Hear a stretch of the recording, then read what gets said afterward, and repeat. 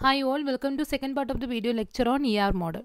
See in the first part we saw what is uh, BR model and what is its relevance, right? So what is its conceptual design and it is one of the popular model for conceptual design and then we saw on example that is company database that we will be seeing throughout the um, lectures. So now let's explore each terms one by one so basically in the diagram also you saw something like entities right? So entity so typically we expressed like it can be an employee entity or it can be a department entity or a project entity like that. Some rectangular box we saw right? Anyway we are going to see it.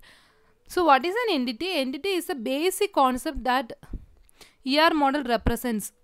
Okay so which is a thing. It can be a thing or an object in the real world or the mini world right? It can be an object or a thing in the mini world with an independent existence okay? So employee is on entity. So that is independently existing. Department is another entity. So like that. An entity may be an object with a physical existence. Sometimes there will be a physical existence. Like if we are talking about an entity car entity or a house entity or an employee entity so they are all a particular person and all these are all physical uh, having some physical existence right now sometimes these uh, employee i mean this entity can cannot have any physical existence. That also possible so this is uh, the employee i mean entity with the physical existence. Sometimes the it uh, may be just a conceptual thing. So there is no physical existence right? For example a job right? So you can't uh, see it physically a university course or a company. So these things are examples for conceptual existence entities with the conceptual existence. Each entity has attribute. Now what is attribute? Attribute is nothing but the particular properties of the entity. For example if it is a employee entity you know what are all the properties associated with the employee? Each employee will possess some something called a name of the employee age of the employee address of the employee salary what kind of job he possesses. So these are all different attributes of the employee entity. So hope you get an idea right? So different properties of the employee entity is what we call as uh, technically as entity. So uh, attribute. So one terminology is entity. Uh, so the, the one the uh, it can be an object or a thing uh, from the real world or the mini world. And the properties of this entities is what we call as the attribute of the terminologies are clear. A particular entity will uh, entity will have a value for each. So if you are looking at the attribute uh, take a particular person employee he will have a name age and all right? So different so that is called the value of that particular um, entity. Uh, sorry particular attribute of that entity. The attribute values that describe each entity become major part of the story. So if you are looking at the database as a whole that is collection of values for the attribute right? So that is what we are keeping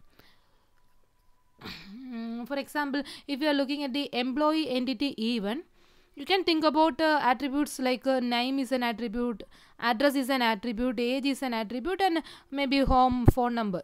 And th- these are all the values for the attribute. If you're looking at this particular entity the name of the entity is john smith right? This is the value. And this name is something called as the attribute attribute or the property. And the property is assuming this value okay? Similarly address is another property or attribute that is assuming this value. Age is another attribute or property which is assuming 55 as the value.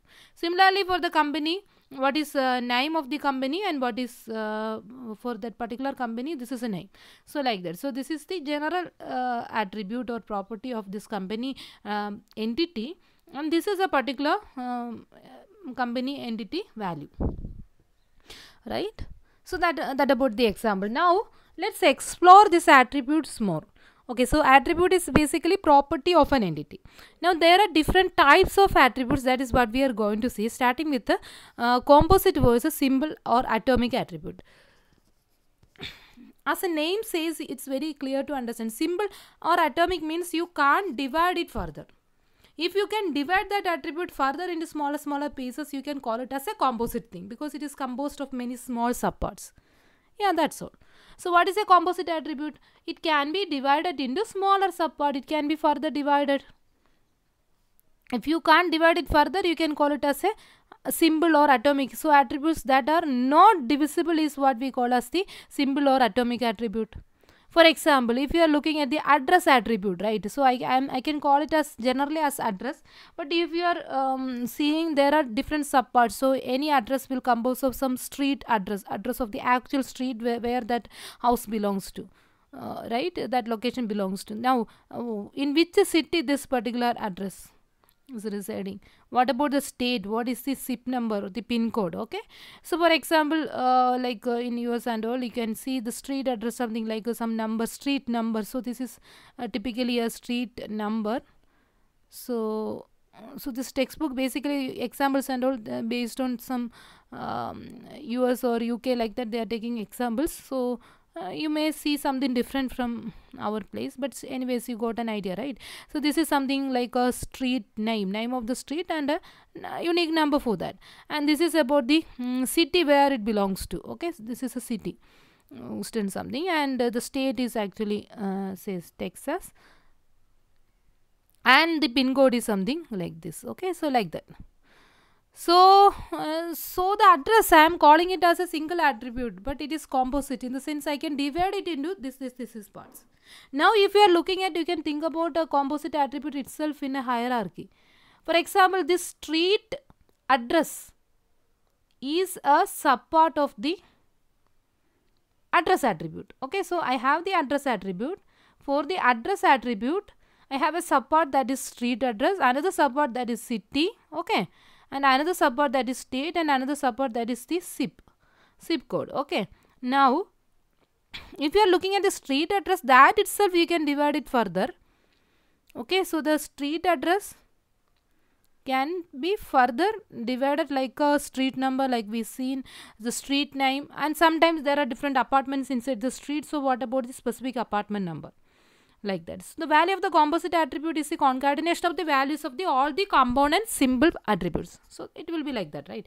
Now the composite attribute are useful in modeling um, in which a user sometimes sometimes the user is interested on a um, the composite attribute as a whole. But sometimes he is un, uh, interested only on a particular component of it. So the application is like that. Sometimes I want to know in which city he belongs to. So from the composite attribute only focus on that city subpart and uh, display its value or in which state it belongs to say texas. Like that sometimes the user is interested. Sometimes the user want to know the complete address. So both are needed. So that is why we are keeping it as a uh, single i mean composite attribute okay?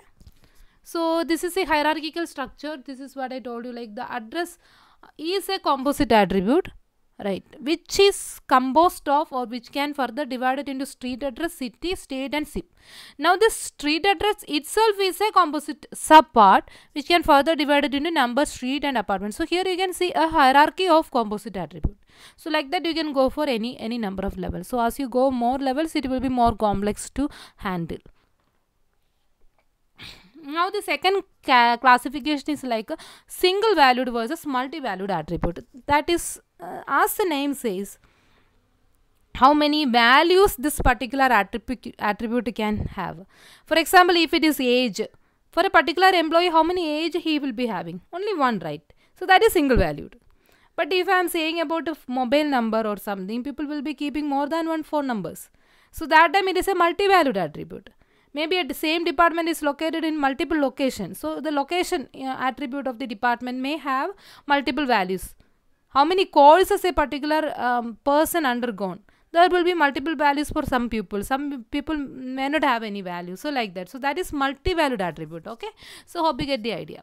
So most of the attributes have a mostly it is single value Mm, such as uh, attributes are called for example age right? So age name like that. So how many age how many name this person can possess like that.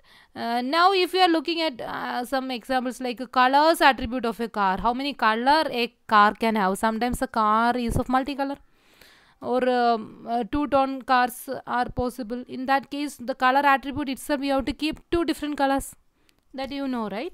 And similarly the college degree of a person similarly one person may have a, uh, may not have any college degree and another person may have a single college degree and a third person may have a two or more degrees like that right? So the different people have a different number of values. Now different number of values for the particular attribute i mean college degree attribute. So that is another example given so such attributes are what we call as the multi-valued attributes. A multi-valued attribute uh, may have a lower and upper bounds to uh, constrain the number of values allowed for each individual entity. For example, if you are looking at the colors, I am saying that any car can have at most two colors. So the range of values this color field can uh, attribute can assume is minimum one color and maximum two color like that. So like that you can uh, restrict the number of values this multi-valued attribute can have. A minimum how many values and maximum how many value depends on the application that uh, uh, lower and upper bound of this particular multi-valued attribute will vary yeah that about it. Uh, so it's a small video some uh, there are further class so what we've seen is the classification of the attribute. What is attribute? What is entity? Okay? So you you understood what is entity. Entity is the real world object we are interested right? Object or thing. It can be of uh, conceptual thing or it can be a uh, something having a physical existence. And uh, what is attribute? Attribute is nothing but properties of the entity different properties of the entity.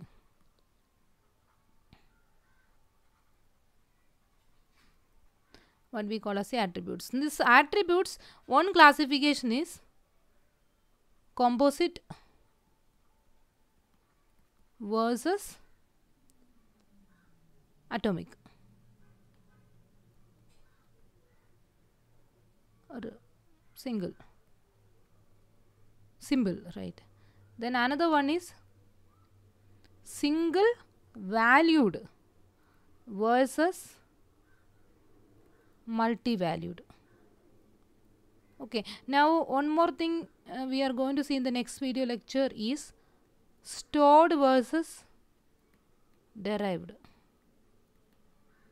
okay these are all main things and now some more things like what is a key attribute like that we will see in our future videos okay? So this is this this about the main classification. Yeah that about it. Thanks for watching